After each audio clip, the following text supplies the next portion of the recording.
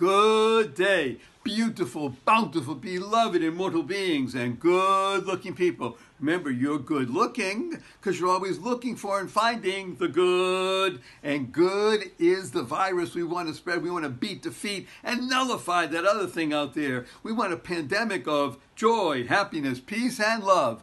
And I think one of the best ways to do that is to use this most powerful vessel that we all have, and that is the vessel of speech. Speech is the vessel that channels blessing into the world. And I, as a conscious, conscientious being, try with all of my faculties to continually dispense blessing. Hello. Thank you.